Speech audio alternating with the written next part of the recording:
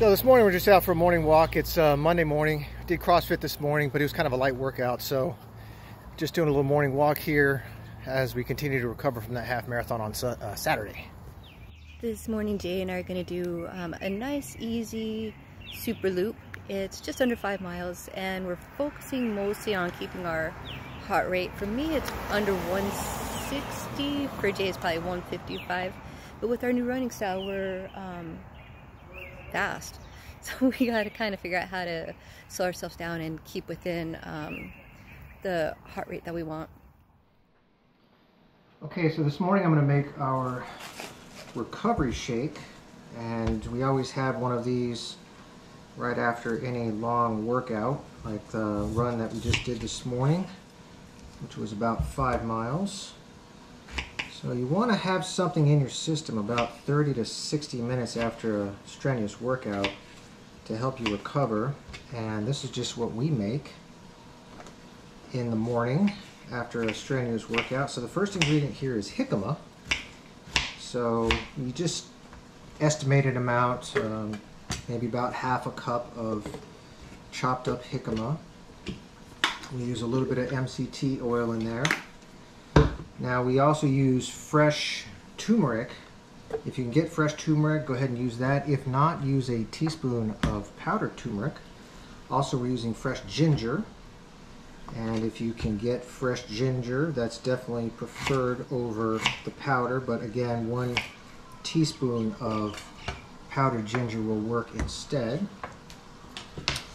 And we are going to use half a cup of almond milk. This is the unsweetened almond milk. So you want the almond milk with the least amount of sugar you can.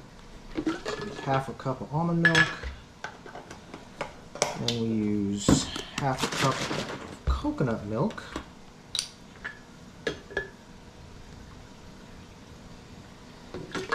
And also a half cup of coconut water.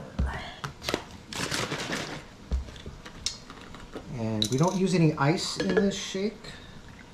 So we use the coconut milk water and the almond milk for the creaminess and the fluid of the shake. We got those. Now we're also going to put in two tablespoons of hemp hearts. There we go. Two tablespoons of that. Shelled hemp seeds. We have Hawaiian spirulina. We're going to go ahead and do one teaspoon of that. And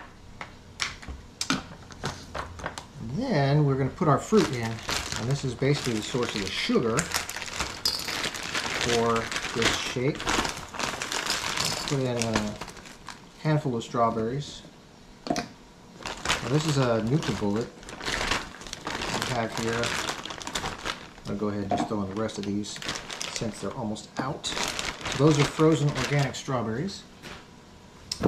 And then what we do is we buy bananas in bulk and then we chop them up and put them in the freezer. We get the bananas all nice and frozen. You can put in uh, several segments of frozen banana the bananas and the strawberries basically what we use instead of the ice. Okay, so we have all that. And then last but not least, we're going to try to get in some spinach into this concoction. This is just fresh spinach, so we're going to use just a handful there. Pack it in. Then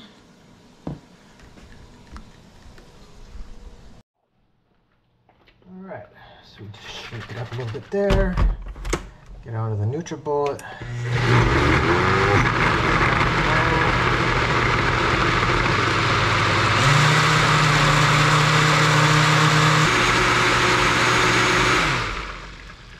So we get basically halfway blended up there. Give it a nice another shake.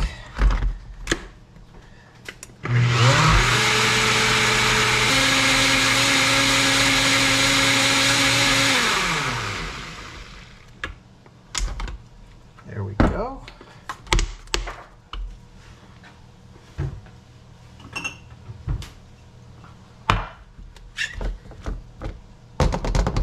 And then when all's said and done, nice, creamy, delicious recovery shake. It is Wednesday morning. We just finished a really good CrossFit workout, all upper body. So we decided to work on that a little more and go stand up paddleboarding. Plus, it's a beautiful morning. Light winds. The winds are supposed to pick up later this week, so it's I want to take full advantage of this. But personally, for me, I have balance issues, so I do a stand up pedal board. It's a little pedal. And I have handlebars to hold on to. We haven't been on these in a little while. Uh, it's good work for prepping for swimming because it uses a lot of the lat, a lot of the arm, a lot of the core muscles. So we're able to get out here and get a good cardio workout without putting too much uh, pounding and pressure on our knees and joints from the running that we've been doing.